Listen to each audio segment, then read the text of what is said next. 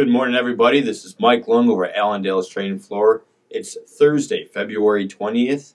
Starting the day off with the USDA outlooks. The acreage outlook initial estimates are coming in about where uh, trade estimates were, so not too surprising on that end of things.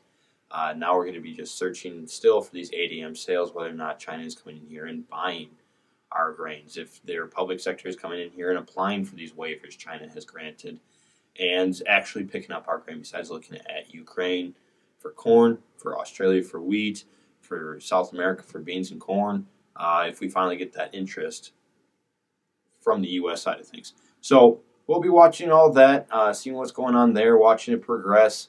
The next big thing that everyone's going to be really paying close attention to is the March planting perspectives and grain stocks report.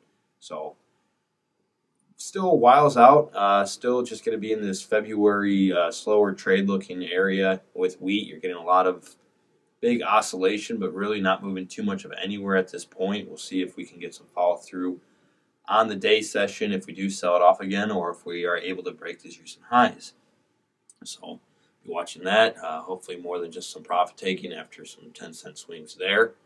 Uh, but to get ready for that planning perspectives, we are going to start here relatively soon, so keep an eye out for it, is our uh, survey for planting. So keep an eye on that. That's going to be a couple weeks out still, but that will help gather numbers for us and for you in order to better get an idea of what the USDA is going to give us at the end of March. So today for Allendale, this is Mike Lung. You guys have a great one.